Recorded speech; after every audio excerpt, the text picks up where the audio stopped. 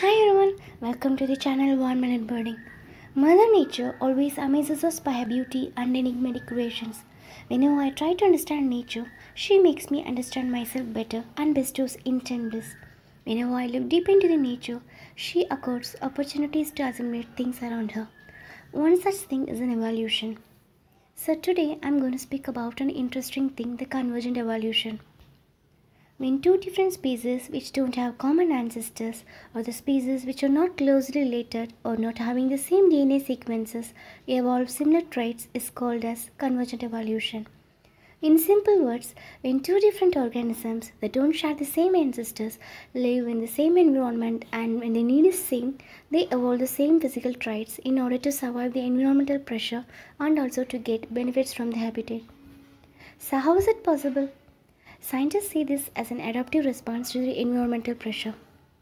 There are many examples around us sharks and dolphins, birds and bats, and many more plants and marine species come under the convergent evolution. But have you ever thought that the species that we almost see daily belongs to this category? Yes, it's none other than the hummingbird hawkmoth. These moths are pretty common in the flower gardens. Many might have seen a bee like creature in the twilight swiftly hopping from flower to flower in your garden. Those are the hummingbird hawk moths. If you look closely, you can see a little hummingbird sipping nectar from the flower. Yes, it exactly looks like a hummingbird, and so they get the name.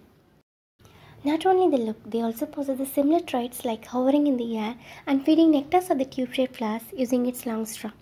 Hummingbirds and these moths are entirely different and they're miles apart, but their need is the same. So the hawk moths have all the traits of hummingbirds to survive and to hunt nectar from flowers.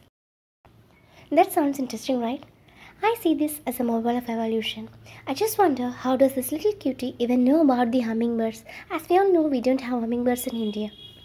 Despite the feeding time, the moths look like a normal moth and can be seen streaking on the walls or plants, sands displaying the wings.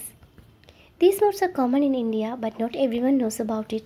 These hawk moths are the fastest flyers and used to flit from flowers to flowers like the fastest jet plane and it was really a difficult task for me to film it. However, I managed to get these shots. So, to see a wonder, we no need to travel far. Just step into your garden or open your windows and enjoy the marvels around us. So that's all for today. I hope you like this. I'll meet you with some other interesting pieces in my next video. Until then, bye, take care, and have a pleasant day.